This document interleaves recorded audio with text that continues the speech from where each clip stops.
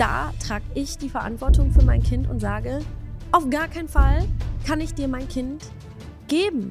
Ich meine, der, der könnte ja auch mal mit äh, Max und Chris dann Fußball spielen gehen oder so. Er ist da in einem Trott drin, aus dem er selber nicht rauskommt, aber vielleicht sogar professionelle Hilfe vielleicht mal gebrauchen könnte. Die Carina Spack-Geschichte, aber ja, gefühlt hat sich schon mal jeder darüber gelegt. Was geht ab, Freunde? Wir kommen heute wieder zu einer neuen Podcast-Reaction hier auf diesem Kanal und heute zu Nothing But the Truth. Also meine Englischlehrerin wäre stolz auf mich, wie ich das gerade ausgesprochen habe. Heißt ungefähr so viel wie nichts als die Wahrheit. Auch ein Podcastname, der mir auf jeden Fall noch nicht bekannt vorkommt. Nichts als die Wahrheit. Ich hatte ja schon auf ein Statement reagiert von Eva. Blende ich euch mal ein hier. Und da hatte die den Podcast ja auch schon angekündigt und der soll scheinbar ziemlich krass werden. Und deswegen dachte ich mir, müssen wir da natürlich mal zusammen reinhören. Also wird hier um Chris gehen, also um mich. Und ich bin mal gespannt, welche Wahrheit hier so ans Licht kommt. Ganzer Podcast ist natürlich unten verlinkt. Also ich denke, ich werde da jetzt nicht komplett drauf reagieren, so einfach auf die wichtigsten Dinge davon. Und ansonsten könnt ihr natürlich gerne noch ein Like und ein Abo dalassen. Viel Spaß mit der Reaction und damit let's go. Ich habe ganz viel auf dem Herzen und ich glaube, dass es bei euch auch schon Ewigkeiten irgendwie im Gedächtnis sitzt und ihr gewisse Dinge einfach ständig fragt ähm, über eine sehr private Thematik. Und heute habe ich einfach mal beschlossen, Eva, lass es raus. Ja, da kann die Eva, glaube ich, hier in unsere Köpfe reinschauen, oder? Hat die natürlich recht, ist schon sehr lange Thema. Also ich erinnere mich ja immer noch an The Real Life und das schon wirklich mega lange her. Da war das ja auch immer Thema mit Chris, mit dem Sohn auch und Eva natürlich. Dann hatten wir irgendwann ja auch mal Eating with My Ex. Da könnt ihr auch gerne nochmal vorbeischauen. Ist auch schon ein bisschen älter wieder. Und ja, irgendwie so 100% habe ich immer das Gefühl gehabt, dass man die Story irgendwie nicht versteht, beziehungsweise, beziehungsweise bei The Real Life wurde das halt immer so dargestellt, dass, und vielleicht ist es ja auch so, ne, das erfahren wir dann vielleicht heute, dass Chris den Sohn einfach nicht sehen darf und sie ihm das verbietet. Irgendwie so einen richtigen Grund oder so gab es auch nicht. Also ich habe das nie verstanden. War aber natürlich halt seine Sichtweise. Sie war da nicht oft dabei. Und jetzt haben wir halt nur ihre. Also die von beiden mal zusammen, das wäre eigentlich auch eine Idee gewesen, den Podcast einfach mit Chris zu machen. Ne? Oder mit dem Chris hier. Ich habe lange Zeit gebraucht, um mir darüber meine Gedanken zu machen und diesen Entschluss zu fassen, halt heute endlich mal mit der Sprache rauszurücken. Und zwar geht es um das Thema Chris, der Papa meines Sohnes, und was eigentlich in den letzten Jahren alles so passiert ist und wie der aktuelle Stand ist, warum, wieso und weshalb. Ihr habt mir ein paar Fragen gestellt, die habe ich alle heute da und werde versuchen, die eine oder andere Frage hier zu beantworten. Ja, wenn ich das gewusst hätte, dass man da auch Fragen stellen kann, ne, dann hätte ich da natürlich mal einen Katalog rübergeschickt. Aber wusste ich halt leider nicht. Wie die meisten von euch bereits mitbekommen hatten, ähm, haben wir uns ja 2021 getrennt. Ich möchte gar nicht viel über die Vergangenheit sprechen. Und da war ich im siebten Monat schwanger. Wir hatten auch eine sehr, sehr schwierige Zeit äh, zu dem Zeitpunkt, äh, was danach einfach auch folgte. Zum einen ähm, war das für mich halt psychisch einfach eine wahnsinnige Belastung und hat mir unglaublich wehgetan und auch viele, viele, viele Nerven gekostet. Kurz gesagt, mir wurde den, der Boden unter den Füßen weggezogen, als das alles passierte. Und ähm, ich bin mittlerweile allerdings auch sehr froh, so wie die Dinge halt einfach passiert sind und ähm, dass wir getrennte Wege gehen, weil ich glaube nicht, dass wir eine gesunde Basis hätten, einfach auch menschlich gesehen ähm, glaube ich nicht, dass wir da auf einem Level sind. Alles, was mich interessiert, ist mein Kind, das Wohl meines Kindes, auch wenn ich damals ähm, wirklich, als er schon auf die Welt kam, 2021 im Juni, ähm, da war ich schon immer so zu Chris, auch aufgrund meiner Familie, meiner Freunde, die immer gesagt haben, weißt du, Eva, das ist eben der Papa und ähm, schau, dass er den, das Kind sehen darf, dass er immer Zugang zu dem Kind hat. Und genauso war es auch. Meine Türen standen ihm immer offen. Er durfte auch bei uns sogar übernachten, was ich halt vorgeschlagen hatte, weil welche Mutter gibt einen Wochen oder Monate altes Kind einfach dem Papa ab, der noch 50 Kilometer weit weg wohnt, während sie halt stillt. Das ist ja absurd. Das würde ja niemand machen, aber wir wissen ja alle, wie wichtig das Bonding ist, ähm, gerade in der Anfangszeit mit Kindern. Und genau das wollte ich ihm auch geben, aber ich kann nichts dafür, wenn die andere Seite einfach das Ganze nicht möchte und mit der Situation nicht zurechtkam, dass die Trennung öffentlich war. Also es gab viel, was eigentlich eher so ein Ego-Ding war von seiner Seite, als einfach nur über das Kind nachzudenken. Und äh, das hat sich auch monatelang so gezogen. Im Oktober 2021 musste ich sogar einen Vaterschaftstest machen, äh, wo ich mich einfach nur gefragt habe, okay, welche Frau würde so leiden oder so ein Hehl draus machen und so ein Theater und am Boden zerstört sein, wenn du nicht der Vater gewesen wärst. Aber ja. Ähm, da bin ich mal gespannt, was ihr dazu kommentiert. Also ich muss sagen, ich finde das jetzt gar nicht mal so absurd. Beziehungsweise muss das ja jeder selbst wissen, ob er das möchte oder nicht. Also ich denke mal, das steht einem ja auch zu, das zu machen. Glaube ich zumindest. Wenn nicht, dann korrigiert mich da natürlich gerne. Was wir auf jeden Fall mal festhalten können hier, dass er am Anfang eigentlich den Sohn hätte besuchen dürfen, es scheinbar aber nicht wollte. Also das ist ja jetzt noch alles, bevor dann das bei The Real Life und so war. Ich weiß jetzt nicht, wie viel Zeit dann da dazwischen liegt. Kommen wir vielleicht auch noch dazu. Auf jeden Fall wollte er es scheinbar erstmal nicht. So wie ich jetzt vermuten würde, später dann aber wahrscheinlich schon. Also beziehungsweise wie man halt eben von The Real Life drauf schließen kann. Außer er wollte das nur für The Real Life. Keine Ahnung. Whatever.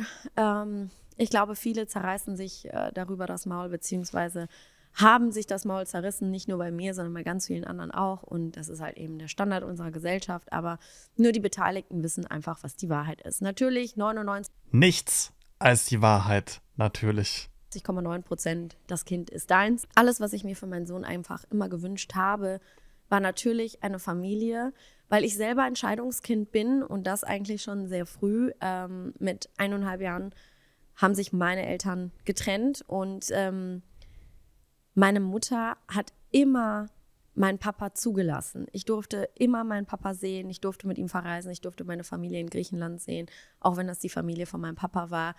Äh, da, was zwischen zwei Eltern ist, das darf nicht ähm, dem Kinde im Wege stehen. Ja, das war, glaube ich, auch das, was ich immer meinte bei The Real Life. Also das Kind kann ja nichts dafür. Und dann sollten die Eltern das natürlich auch hinbekommen. Da werden die sich bestimmt auch freuen, wenn die hier meine Tipps dazu hören. Aber nee, ich kenne das auch aus meiner, also von meinen Eltern. Ne? Deswegen denke ich mal, kann ich das auch ein bisschen beurteilen. Irgendwann nach dem Vaterschaftstest kamen dann auch die Phasen, wo er den Kleinen besucht. Und tatsächlich hatten wir auch im Jahr 2023 dann ähm, ein ziemlich gutes Verhältnis. Ich überspringe jetzt einfach mal ähm, die ganzen negativen Dinge, die zwischen 21, 22 halt passierten, die sind, glaube ich, mittlerweile vergessen, weil dem Kleinen ging es gut und ähm, egal was Chris bei Be Real oder Real Life, wie auch immer es da früher hieß, erzählt hatte über mich, auch als ich dann ein, zwei Mal dabei war, hatte er immer ein schlechtes Wort und ein böses Wort auf der Zunge für mich. Und dann habe ich halt auch gesagt, okay, that's it. Ähm, wir drehen nicht mehr zusammen, obwohl ich immer nur das Gute für wollte. Ja, muss man sagen, halt trotzdem schade, dass wir den jetzt nicht auch dazu hören. Also da reagiert jetzt leider auch der falsche Chris darauf. Nee, vielleicht könnte der ja auch mal bei in seinem Twitch-Stream oder so drauf reagieren. Es würde mich halt interessieren, wie er das sieht weil, wie ich halt schon meinte am Anfang, man hört halt immer nur eine Meinung dazu und ja, was die andere Person jetzt dazu sagen würde, weiß man halt nicht. Februar, März war es, glaube ich, Ende Februar, Anfang März, eine Veranstaltung gemeinsam hatten in Kassel und dort war auch der Matthias Manjapane bei. Irgendwie haben Chris und ich uns da freundschaftlich zusammengerauft und wir konnten auch miteinander lachen und vor allem auch für den Kleinen, ja. Also uns war es immer wichtig und da sage ich auch ganz gezielt uns, weil ich glaube, dass wir da auf jeden Fall ähm, die gleichen Ansichten haben, vor dem Kleinen nicht zu streiten, nicht zu diskutieren, sondern mit ihm gemeinsam wirklich spielen zu können, lachen zu können. Und wir sitzen auch gemeinsam am Tisch. Ja, er ist bei uns zu Hause, wir sitzen am Tisch zusammen, wir essen zusammen. Und das ist das, worauf ich halt immer Wert gelegt habe. Ja, das ist auch wichtig muss man natürlich dazu sagen, wenn der mal ein bisschen größer ist, dann wird er sich das halt trotzdem alles schön anschauen können. Egal ob Be Real oder Real Life oder keine Ahnung, hier den Podcast oder was auch immer. Und äh, ja, ne, wird das trotzdem dann mitbekommen, wie das früher war. Also, das finde ich halt auch immer trotzdem so komisch einfach. Stellt euch das mal vor. Ihr könnt einfach so eure Eltern im Internet eingeben und dann kommt so die, die, die, die Schlammschlacht quasi zwischen denen. Könnt ihr euch genau anschauen, wann was passiert ist und so. Das finde ich irgendwie, weiß, finde ich ganz, ganz komisch. Haben wir auch gesagt, okay, wir fahren gemeinsam nach Kassel. Das haben wir gemacht. Das war eine Party, auf die wir eingeladen wurden. Und jetzt kommt das große Geheimnis, ähm, was ohnehin jetzt, glaube ich, gelüftet ist äh, durch die Sendung The 50. Es war tatsächlich so, dass äh, sich wieder etwas zwischen uns angebandelt hatte. Und ähm, das war auch dann der Abend, wo wir da waren und halt auch was miteinander hatten. Und das war der Beginn von einem längeren Hin und Her, ähm, von einer anderen Art und Weise der Vertrautheit. Aber für mich war auch klar, es ist nicht mehr als das Körperliche und die Gewohnheit, die man hatte. Ähm, also nicht mehr, dass ich mir eine Beziehung oder sowas nochmal hätte vorstellen können. Aber wir hatten halt was miteinander und das monatelang, bis dann auch im August ähm, die Sendung und die Dreharbeiten eben von The 50 kamen. Und kurz davor hatten wir auch noch etwas. Und jetzt kommt nämlich der ärgerliche Punkt, ähm, weshalb ich mich auch dazu entschlossen habe, endlich drüber zu sprechen. Der liebe Serkan, der war ja auch dort Teilnehmer und hat Chris und mich eben da zur Seite genommen und uns nebeneinander gesetzt und er wusste, dass zwischen uns beiden was läuft. Er wusste, dass wir uns wieder gut verstehen. Genauso auch wie Matthias Manjapan es wusste oder Julia Siegel es wussten, weil es einfach meine Vertrauten waren noch von damals wegen KDRS. Und wir haben uns anvertraut, wir haben äh, darüber geredet und ähm, mit irgendjemandem meiner Freunde muss ich ja auch drüber sprechen können. Nun ja, er setzte uns dann zusammen und. Da will ich jetzt natürlich auch kein Urteil drüber fällen, aber da könnt ihr auch gerne nochmal die Reaction auf das Statement anschauen, was ich vorhin ja schon meinte. Da ging es nämlich auch um Freunde und so, also um die Freundschaften. Und ja, ne, also ist halt immer so eine Sache irgendwie. Gerade glaube ich bei Leuten, die in demselben Business da unterwegs sind Vielleicht ein bisschen schwierig. Sagte, hey, wollt ihr es nicht nochmal probieren? Ähm, das wäre doch richtig cool und äh, ihr versteht euch doch jetzt wieder so gut. Und wisst ihr, was seine Antwort war? Na, da muss man natürlich erstmal dazu sagen, das war hier der, der Puppenspieler Serkan. Der hat so links hat er Chris an der, in, in der Hand gehabt und rechts Eva. Und dann wollte er so die, die Puppen zusammen tanzen lassen. Ich hoffe, dass sie bei The 50 ausgestrahlt wird und ausgestrahlt wurde, denn ich erzähle euch das alles jetzt aktuell, bevor das alles rauskommt, aber ich hoffe, dass es gezeigt wird. Er sagte tatsächlich. Fun Fact wurde es, glaube ich, nicht. Also zumindest den Stories eben nach von letztens wurde es nicht gezeigt. Während er noch was mit mir hatte, zu unserem gemeinsamen Kumpel, ey, Bro, aufgewärmter Gulasch schmeckt nicht. Willst du mich verarschen? Na, ich sag euch ehrlich, also das ist jetzt natürlich keine Entschuldigung, ja. Aber bei Chris, wenn ich da auch an Be Real zurückdenke, wie der da die Folgen über auf dem Sofa hing, ich weiß nicht, ob der das immer so mitbekommt, was der da eigentlich macht oder sagt. Also, da hatte ich auch einen ganz komischen Eindruck irgendwie von ihm. Aber gut, er wird natürlich gut angekommen sein, oder? Der, der Gulasch-Vergleich, der schmeckt doch, oder? Bist du für ein Mensch? Nicht mal, was bist du für ein Mann, das ist komplett raus. Aber wie kannst du so eine Respektlosigkeit an den Tag legen und über mich so etwas zu sagen? Zum einen, okay, wir haben was, aber ich bin nicht irgendeine, sondern ich bin die Mutter deines Kindes und du nennst mich, du, du nennst mich aufgewärmter Gulla. Und das i-Töpfelchen dieser ganzen Geschichte ist, dass er es auch noch leugnet, dass etwas zwischen uns gelaufen ist. Ich habe Beweise, Nachrichten, Fotos.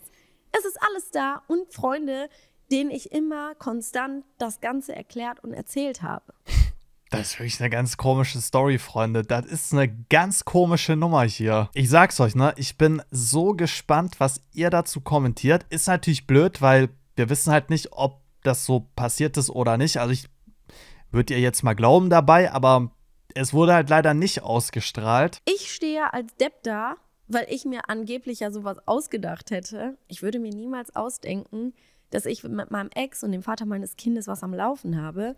Ich habe es geheim gehalten, weil wir das genauso wollten. Aber sorry, bei aufgewärmter Gulasch ist bei mir Schluss mit Geheimnissen. Also dann kommt die Wahrheit auf den Tisch.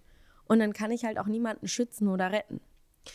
Nun, das war der erste Cut ähm, zwischen uns beiden, obwohl wir natürlich auch als Eltern gesagt haben, geil, wir haben jetzt eine Sendung zusammen, wir reißen uns zusammen, lass uns ein Team sein, was jede normale Eltern, Partnerschaft, wie auch immer, wir sind ein Team, ja, wir sind ein Team für unser Kind und wir wollen dieses Ding auch gewinnen für unser Kind. Am Ende des Tages ist alles, was wir machen oder was ich mache zumindest, ist für meinen Sohn und nicht, ähm, weil ich Bock habe, in einem Format gerade rumzuhüpfen, weil ich nichts Besseres zu tun habe. Ich verzichte in dieser Zeit darauf, mit meinem Kind zu sein, ge gewisse Momente zu verpassen. Bei kleinen Kindern entsteht jeden Tag irgendwas Neues.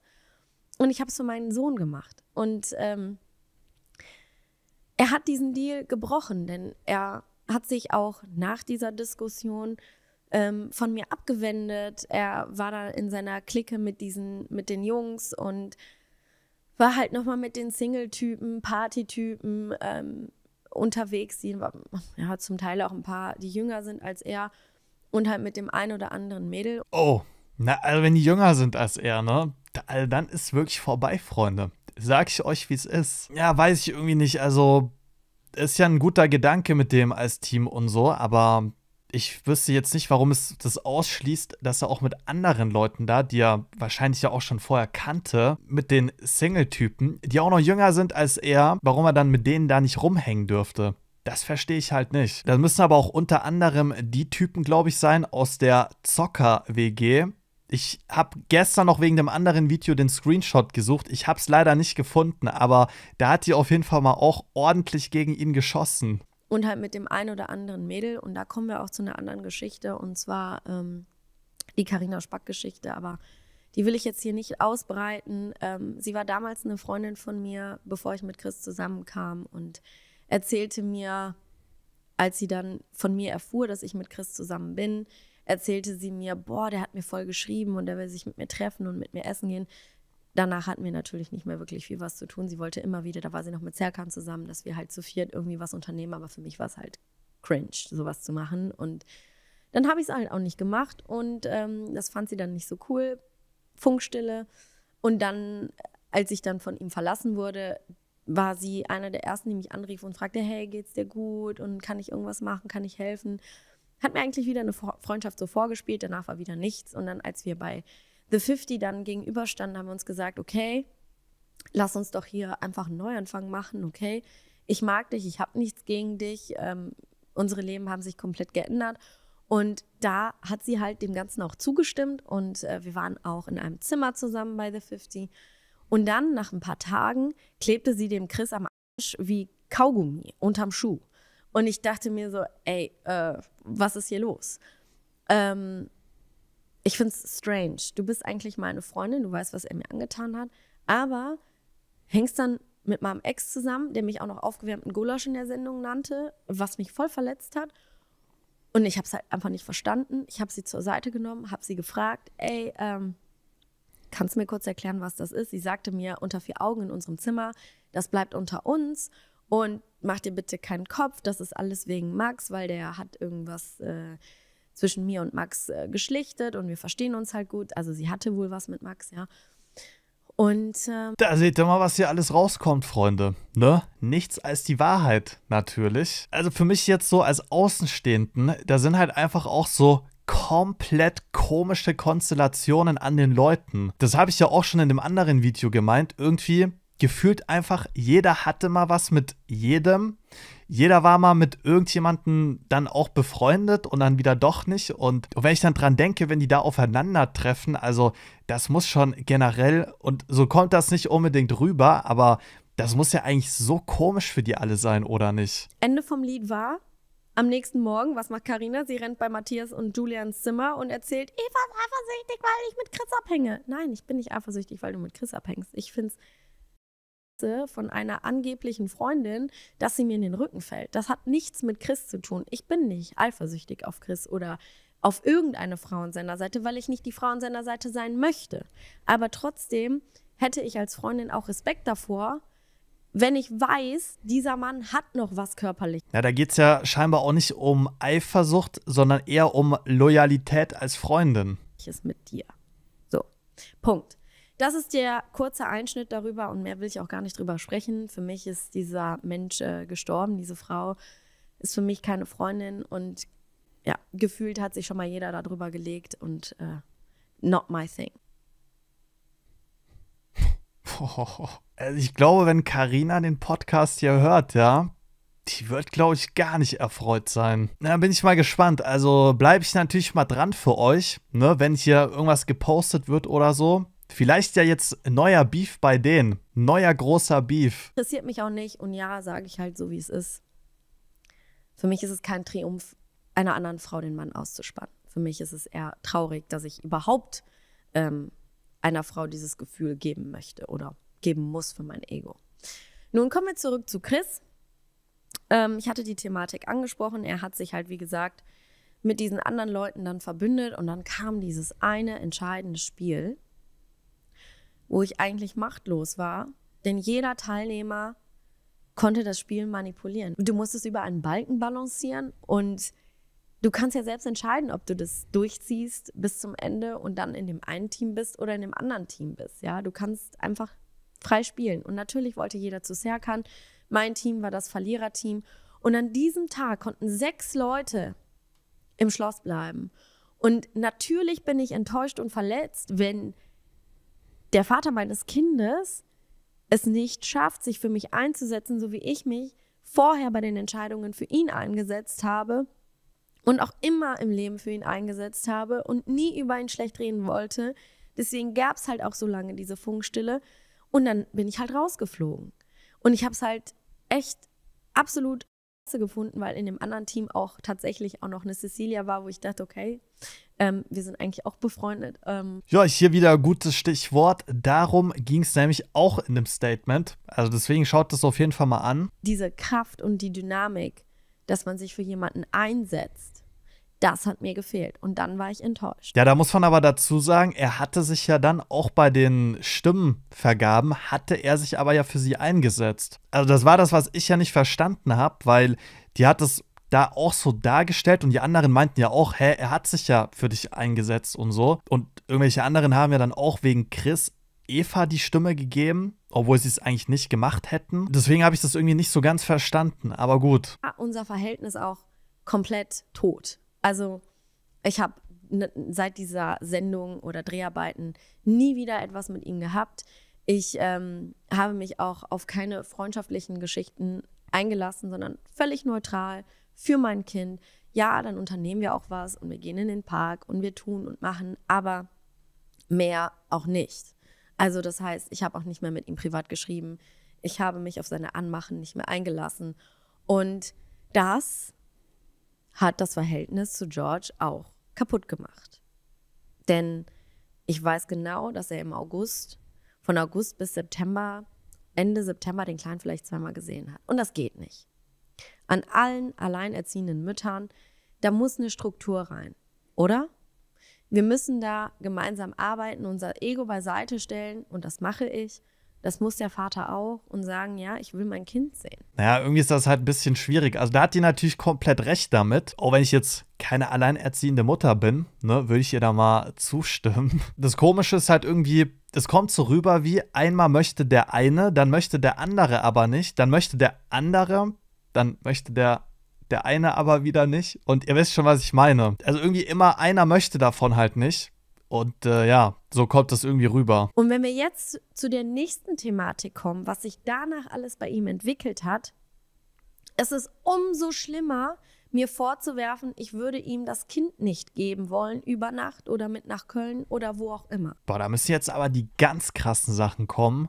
Was hat sich denn entwickelt? Das klingt irgendwie gar nicht gut, so wie sie das jetzt rübergebracht hat. Wenn er mit Jungs abhängt, die Single sind, die immer Party machen. Er ist nicht dieser Single. Er hat eine Verantwortung, er hat eine Vaterrolle, er ist ein Vater und er steht in der Öffentlichkeit.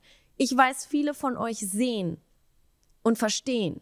Das muss man gar nicht aussprechen, was da passiert. Aber das ist für mich keine Location, wo ich sage, okay, hier fühlt sich mein Sohn geborgen, hier gibt es eine Struktur, hier gibt es eine Ordnung in seiner Wohnung, in der er halt mittlerweile jetzt mit Max wohnt passiert super viel Party, super viele Mädels, die zocken die Nächte durch. Es gibt äh, es gibt diesen Aufbau nicht und die, die Routine, die ein kleines Kind im Alter von George braucht. Erst ich meine, der, der könnte ja auch mal mit äh, Max und Chris dann Fußball spielen gehen oder so. Oder natürlich auch mit ein paar anderen Bällen. Ähm, nee, da hat die natürlich schon irgendwo recht. Also kann ich verstehen, warum sie das halt irgendwie nicht möchte. Ich weiß halt eben nur noch, damals haben die ja mal extra auch ein Zimmer eingerichtet bei Chris seiner Mom, damit er da hinkommen kann. Also ich weiß nicht, ob Chris hat dann wahrscheinlich damals auch noch dort gewohnt, aber ja, also das mit der WG kann man schon irgendwie auch verstehen, oder? Auch hier wieder, ne?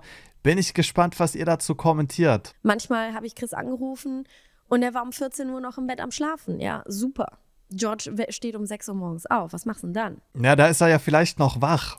Ey, es tut mir leid. Also, ja, eigentlich will ich da keine Witze drüber machen, so muss ich sagen. Aber was ich gerade noch sagen wollte, an sich, mit wem Chris rumhängt und so, das finde ich, das ist ja eigentlich egal. Also, solange er alles unter einen Hut bringen würde oder so, wisst ihr, wenn man der Verantwortung nachkommt, dann kann man ja auch rumhängen, mit wem man möchte. Das eine hat ja mit dem anderen nicht unbedingt was zu tun. Wenn man der Verantwortung aber deshalb nicht nachgehen kann, ja, dann wird es irgendwie schwierig. Also, ich, ich weiß nicht. Da kann man eigentlich nicht viel dazu sagen. Und da trage ich die Verantwortung für mein Kind und sage, auf gar keinen Fall kann ich dir mein Kind geben. Übers Wochenende schon gar nicht, wenn ich weiß, dass er schon so oft halt immer Party machen geht. Ich habe ihn schon so oft nach der Party bei mir zu Hause antanzen sehen, von meiner Haustüre mit einer Fahne oder was auch immer. Sorry, Freunde, das ist die Wahrheit. Ich will nicht schießen, aber ich will einfach, dass es aufhört, dass mir Leute vorwerfen, ich würde ihm das Kind entziehen und dass er sich die Frechheit auch noch erlaubt, in der Fragerunde über mich zu urteilen und zu sagen, nein, leider nicht. Wenn das doch so leider ist, dann komm und besuche dein Kind. Und auch wenn du von Köln nach Düsseldorf fahren musst und auch wenn du zwei Stunden hast oder eine Stunde oder 15 Minuten, das wäre mir mein Kind wert. Aber unsere Streitigkeiten und Diskussionen basieren immer darauf, dass er sagt, ich sei schuld daran, weil ich ihm das Kind nicht gebe. Und die Dinge hätten anders sein können, aber ich gebe ihm das Kind nicht. Ist das ein Grund zu sagen, okay, dann sehe ich mein Kind einfach gar nicht? Das, wo ist die Bemessungs, äh, wo, wo ist hier die Bemessung? Wo ist hier der Grad? Das Max, hol mal ein Lineal.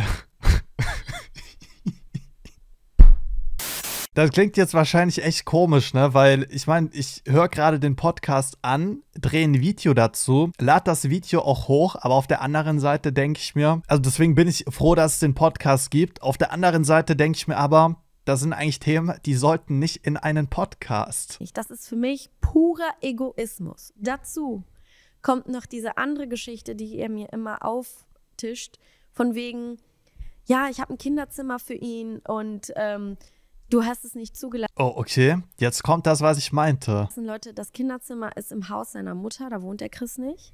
Das Kinderzimmer ist im dritten Stock mit so einer äh, Wendelholztreppe, wo noch so Lücken drin sind, ja.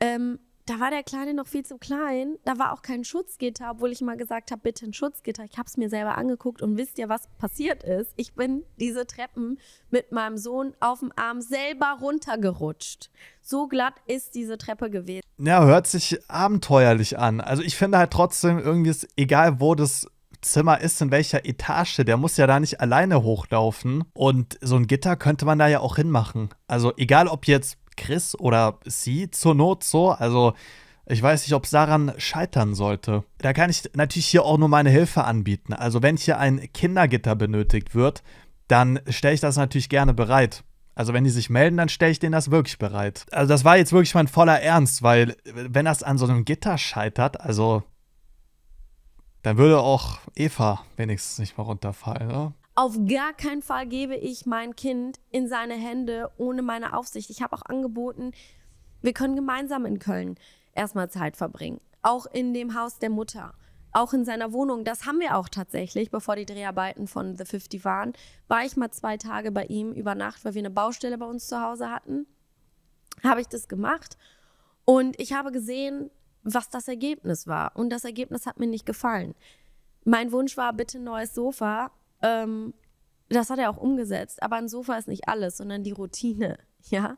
Aber alleine schon dagegen nicht anzukämpfen muss. Das tut mir leid, ne? Es ist wirklich kein lustiges Thema hier, aber das verstehe ich irgendwie auch nicht. Ähm, ja, bitte neues Sofa. Das hat er auch umgesetzt. Also wisst ihr, das ergibt irgendwie alles keinen Sinn. So, ein Sofa kann man besorgen, ein Kindergitter aber nicht. Und das ist wirklich so komisch. Und ich weiß, das wird denen auch bestimmt gar nicht gefallen, dass ich, der natürlich noch wesentlich jünger ist als die, sich das hier anguckt und da irgendwie seine Meinung dazu abgibt. Also das wird denen, glaube ich, nicht gefallen. Wie ranzig das einfach war für ein Kind. So. Und lange Rede, kurzer Sinn. Die Oma, dazu möchte ich eigentlich so wenig wie möglich sagen. Wir haben kein gutes Verhältnis seit der Trennung, weil sie einfach die Wahrheit irgendwie nicht verkraften kann.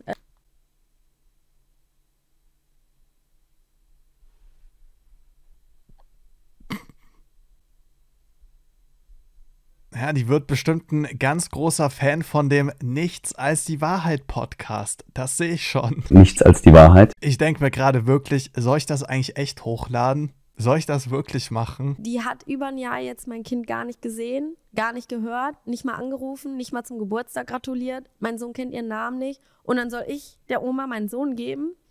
Sorry, Leute, das geht nicht. Das habe ich auch übrigens oft gelesen, dass die Leute das triggert. Ich merke das auch immer wenn sie sagt, mein Sohn, das ist ja, also die müsste ja eigentlich, oder sollte eigentlich ja sagen, unser Sohn. Vielleicht macht die das auch nicht mit Absicht. Ich weiß es ja nicht, aber das kommt dann immer so rüber. In manchen Momenten ist es ihr Sohn und in manchen Momenten der von Chris. Dann sagt die, es ist sein Sohn. Also so hat die es ja auch schon gesagt. Und das kommt dann irgendwie immer gar nicht so rüber, als wäre das deren Sohn, sondern immer entweder ihrer oder seiner, aber nicht der gemeinsame. Argument, was mir der Chris immer sagt, ja, bring mir den Kleinen, ich nehme den mit zu Dreharbeiten, auf den wird schon aufgepasst. Sinn der Sache ist, dass du dir die Zeit für dein Kind nimmst und nicht, dass er mit der Oma ist oder mit irgendwelchen Produktionsleuten von Be Real oder Real Life oder von mit deinen Kumpels, die gar keine Ahnung von Kindern haben. Mein Wunderpunkt ist, mein Kind sagt abends und manchmal auch tagsüber, morgens, egal wann, Papa hat mich vergessen. Der Papa kommt wieder, das sagt er abends, um sich ein Sicherheitsgefühl zu geben. Leute, wisst ihr, was das mit einem Menschen macht? Es zerreißt mein Herz. Er sagt manchmal morgens, ich möchte, dass der Papa mich abholt. Kommt der Papa mich von der Kita ab? Ja, da würde ich sagen, was das vor allem aber mit dem Kind macht. Ich habe so oft den Papa angerufen und gesagt, kannst du bitte heute kommen und ihn abholen? Nee, vor 14, 15 Uhr schaffe ich das nicht und dann komme ich wieder in den Berufsverkehr und ich muss dann wieder um 19 Uhr zu Hause sein, 20 Uhr. Was sind das für Antworten? Das ist die Wahrheit. Und dagegen kämpfe ich monatelang an und dann kommen noch irgendwelche Leute aus der Öffentlichkeit und sagen, ich entziehe ihm mein Kind. Es ist eine freie Entscheidung, die er getroffen hat. Er ist da in einem Trott drin, aus dem er selber nicht rauskommt, aber vielleicht sogar professionelle Hilfe vielleicht mal gebrauchen könnte damit ihm mal die Augen geöffnet werden. Natürlich sagt ihm sein Umfeld, die Eva ist die Böse und hier und da und tralala. Ja, na klar, die haben auch gar keine Ahnung von Kindern. Null. Ja, das war es jetzt mal soweit mit der Wahrheit hier. Also zumindest mal von ihrer Sicht. Das war jetzt keine wirklich, also das hat jetzt nicht Spaß gemacht, den Podcast anzuhören. Da wird übrigens aber noch mal einer mit Serkan kommen. Da geht es bestimmt dann generell ein bisschen mehr auch um The 50. Also da werde ich wahrscheinlich auch noch drauf reagieren. Dann haben wir da vielleicht mal ein paar freudigere Themen. Ansonsten gucken wir mal, was Chris dazu sagt. Ich bin gespannt, was ihr dazu sagt. Und ansonsten sehen wir uns natürlich auch morgen wieder mit dem nächsten Video. Bis dahin. Ich bin wirklich, irgendwie bin ich sprachlos hier nach. Und ciao.